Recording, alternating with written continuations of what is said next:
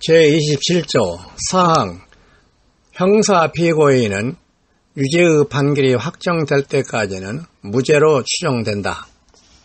4.